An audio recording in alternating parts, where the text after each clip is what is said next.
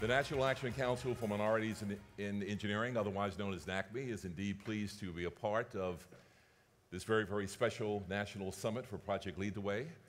As I'm sure all of you are aware, Project Lead the Way is a very, very special and important partner with NACME uh, in a number of efforts designed to promote diversity and equity in engineering education and engineering career development.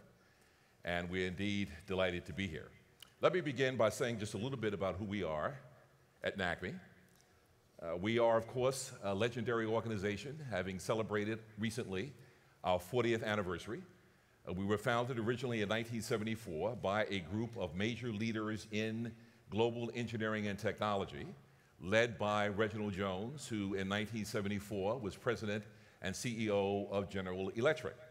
Reginald Jones and a number of other leading industrialists that he brought together were concerned at that time about a problem, a conundrum, that unfortunately continues to exist today. And that is the underrepresentation of minorities among the ranks of their engineering and technology workforce. Uh, this group of leaders decided to do something proactive about that, came together, formed a number of committees and task forces, and ultimately, in 1974, agreed to create an organization that historically became the National Action Council for Minorities in Engineering, organized principally around scholarships with the objective of creating a kind of public private partnership that will really be a driver of resolving what has now become to be known at NACME as the new American dilemma. And so our vision is an engineering workforce that looks like America. For the past four decades, NACME has been diligently working on trying to address uh, that vision and there are a number of partnerships that have resulted along the way. And again, the partnership with Project Lead the Way represents one such endeavor. We are supported by a national board of directors that I'm sure all of you looking at this slide would, would agree reads kind of like a who's who in global engineering and technology. Uh, these are a list of companies whose CEOs and C suite executives likewise agree that unless something is done to significantly increase the representation of those who have been underserved by engineering education and the engineering workforce, that the consequences for their companies as well as the consequences for U.S. competitiveness are very, very severe. And so we thank this group of board companies, universities, and of course the National Academy of Engineering for being partners with NACME in the effort to promote diversity and equity in the ranks of the field. We have a second group, a relatively new group, that we call our NACME Corporate Council. Again, an organization uh, that consists of a number of significant companies, companies that have not yet made the financial commitment to join the NACME Board of Directors, but nevertheless a group of companies who are equally concerned about the challenges of diversity and equity in the field of engineering education and career development and who have likewise joined forces with us to try to carry forward on realizing that vision. Now, an engineering workforce that looks like America. We like to put numbers and metrics behind everything that we do. Uh, and if you look at the graph here, I think that if a picture really is worth a thousand words, and I think that the symbolism uh, optically here is very, very clear. Uh, we have a significant mismatch or variance between the participation rates of underrepresented minorities in the American demographic reality and the participation rates of those groups in both engineering education as well as the engineering workforce. I like to refer to this as the proportionality conundrum. What we're after at NACME, obviously, is merging these two pie charts so that the metrics become more equal between participation in the demographic reality and participation in the engineering workforce, which obviously is preceded by engineering education. Until we're able to do that, NACME's vision is unfulfilled, and America's capacity to really drive the level of competitiveness that we have been known for as a nation continues to be threatened. And so let's take a deeper look at three of the groups that NACME represents as a part of our strategy, a part of our mission, and our vision, and what these numbers actually suggest to us. We know, for example, that in terms of participation rates in the US population, as far as 2014 data would suggest, about 13% penetration of African Americans in the US population. Contrasted with, what is that, 2.6% engineering faculty, but the larger number, 3.6% engineering workforce. Clearly, there is a lot of work that needs to be done to equalize the opportunities for members of the African American community to participate equally in engineering education and the engineering workforce to bring to innovation, entrepreneurship, and invention all of the opportunities, perspectives, and viewpoints that diversity around the table actually drives. The American Indian Alaska Native situation, uh, a smaller N, obviously, uh, and a smaller percentage participation in the engineering workforce than participation in the American demographic. Now to the rapidly, the most rapidly growing uh, underrepresented minority group in America that rapidly is becoming not an underrepresented minority group, a rather significant penetration in terms of the American population at 17.5%, but in terms of engineering workforce participation, 6.3%, bachelor's degree participation, 9%. In each of these instances, the three groups that NACME represents historically African Americans, American Indians, Alaska Natives, and Latinos the challenge is very, very clear. We are not producing at the baccalaureate degree level enough representatives from these groups to populate an engineering workforce at a level and at a proportion that would be more representative of their likewise participation in the overall American population. And we need to wonder and be concerned about the implications for that underrepresentation in driving the competitive opportunities for America. Now let's look at the participation rates not only of underrepresented minorities, but also of women. NACME is likewise concerned about what is happening to the participation rates of women uh, in engineering careers and in engineering education. And if we look at the top line, uh, the blue line in this particular chart, uh, we see that over time there have been ebbs and flows, now a kind of uh, perhaps more steady state situation at about 19%. That 19% again represents a rather significant departure from the overall participation of women in the workforce, the American workforce generally. And so, in addition to the concerns we have about underrepresented minorities, I think we also need to be very concerned about moving more women into engineering so that likewise they are able to participate and to contribute to U.S. competitiveness. So the question then becomes how has NACME attempted to resolve what we have defined as the new American dilemma? Take these graphs and charts collectively, and we have framed uh, the current situation, the current challenge, as the new American dilemma.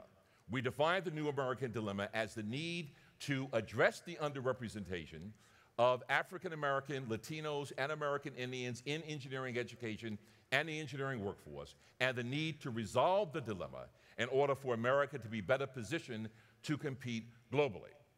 How then does NACME attempt to resolve that? What then is the NACME strategy?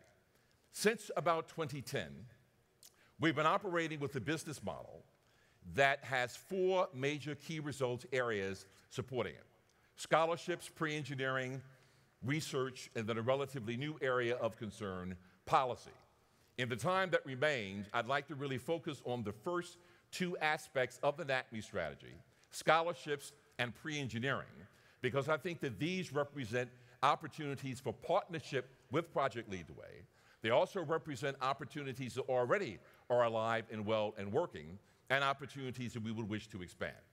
So, let's talk first about the primary reason for NACME's existence, and that is the opportunity to build upon that public private partnership that I talked about earlier, that really was launched around 1974 when NACME was formed, and used that public partnership as a vehicle to drive scholarship support for underrepresented minority students pursuing bachelor's degrees and beyond in engineering.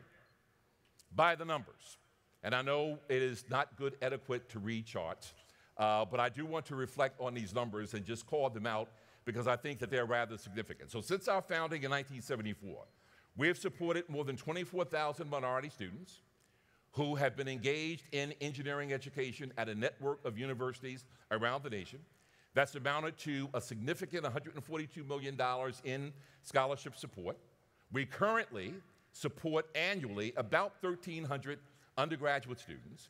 And we also manage the Alfred P. Sloan Minority PhD program in STEM and the Indigenous Graduate Student Partnership. So you could really add to that 1,300 undergraduate number another couple of hundred doctoral students pursuing PhD degrees. Um, we provide about $5.5 billion annually uh, in scholarship support. Over the years, over 40 years, developed about relationships with about 160 different colleges and universities in the nation.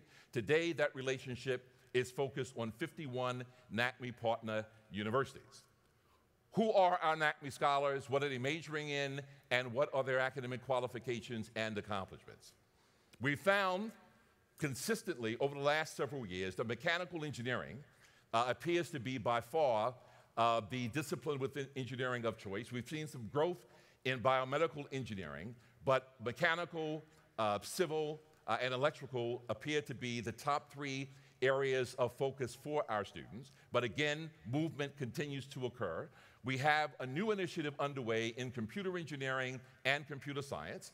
We've been challenged by HP, for example, one of our legendary board companies, and some of our other technology uh, companies to really drive more scholarship support for students earning degrees in computer science and computer engineering, since in terms of the hiring of a subset of my NACME board companies, software engineers are really uh, a target of hiring, and so we're working on uh, directing more scholarships in that area. With regard to gender, we're very, very proud that 32% of our NACME scholars are women. When you compare that to the numbers in the previous chart, you see that NACME is exceeding by a rather significant degree uh, the participation rates of women in, in this case, engineering education. And certainly no surprise with regard to ethnicity. Uh, NACME scholarships participants tend to track the realities in the American population. So as the Latino percentage of the population increases, we would expect to see increases in the participation rates of Latino NACME scholars, and that is exactly what we are experiencing.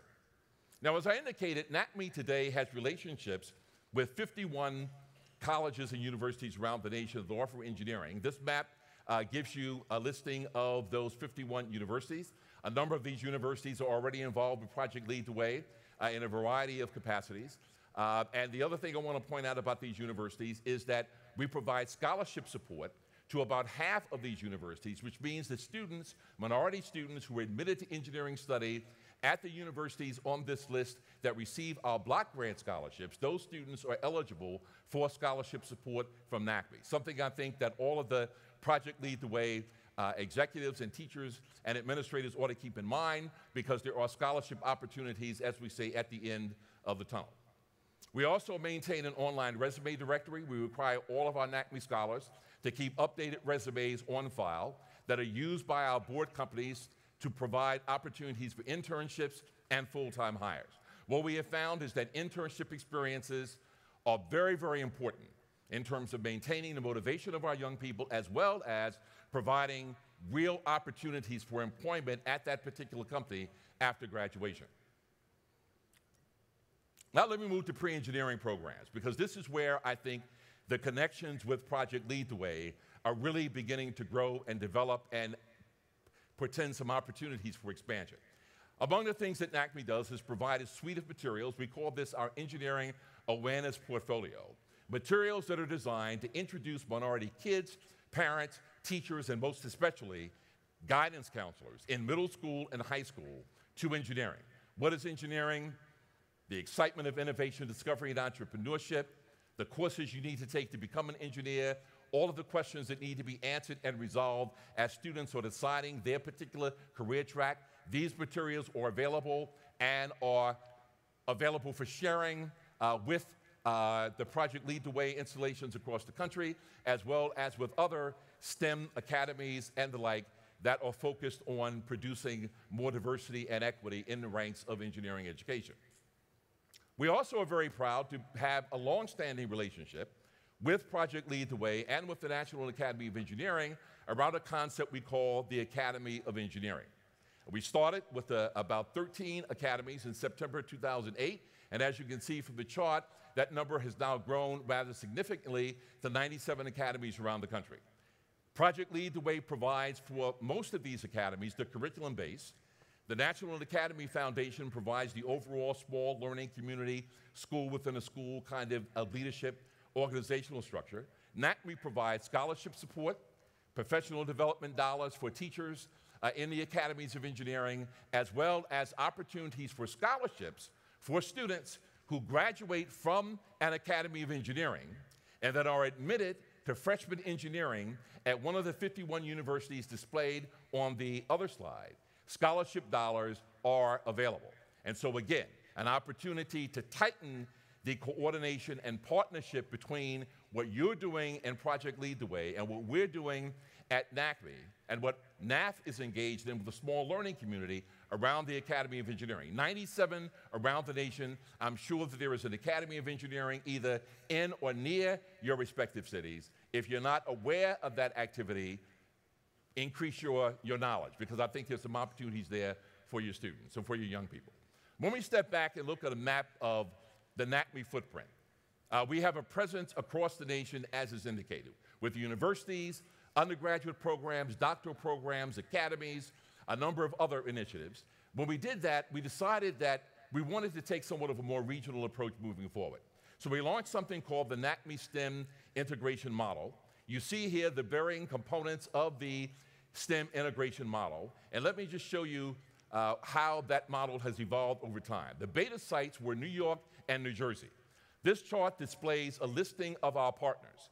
The partners include both academies of engineering, universities, community colleges, and alumni base, Sloan faculty, and a number of board companies that are headquartered in those regions. We basically have asked the partners to come together and to sign memoranda of understanding.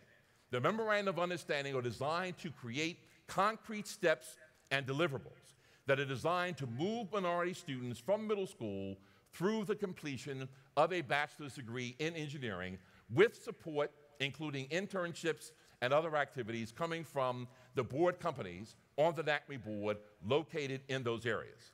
So, following the implementation of the pilot sites in New York and New Jersey, we also have launched in Texas.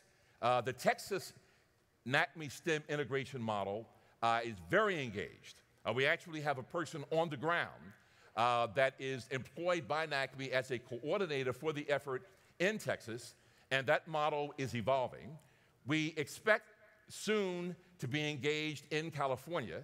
Uh, California, obviously being a large state, also happens to have a significant number of academies of engineering, a number of community college partners, and a number of university partners, as well as the headquarters for a lot of our NACME board companies. So we're currently looking for funding uh, to do a more substantial launch in California. And again, for those of you who are here from California, these are opportunities. Opportunities that can result in scholarships for your kids going on to engineering education. And if you're in California, you need to be connected to what is becoming the next wave of the NACME STEM integration effort. We also are very much involved in Northern California through a grant from the Chevron Foundation. Here you have six high schools uh, that NACME is working collaboratively with Chevron. Project Lead the Way curriculum is in use, and NACME is providing our pre-engineering materials as well as scholarship support and curriculum development dollars for teachers to work outside of the classroom to help drive uh, the commitment to uh, engineering education and diversity and equity. Uh, and so through the NACME STEM integration model, the effort is to take advantage of the, the, the national presence, the national footprint of NACME programs across the nation, but to pull back and organize those programs more coherently, and we also think more powerfully along a regional model. And so, with 46 seconds left, uh, I conclude with the dream metaphor. Uh, again, we've just celebrated 40 years, and we're very, very proud of our 40th birthday. Uh, we raised $1.1 million, by the way, a couple of weeks ago at our 40th anniversary birthday party uh, to support scholarships that your kids ought to be taking advantage of. But as a part of that 40 year celebration, we really anchored that celebration on the notion of partnership and collaboration. The thing that really has driven NACME for 40 years is our ability to, to collaborate and partner with organizations like Project Lead the Way. We think that there's still lots of opportunities for Project Lead the Way NACME collaboration moving forward. Thank you for listening, and we look forward to making that partnership actually work. I did it.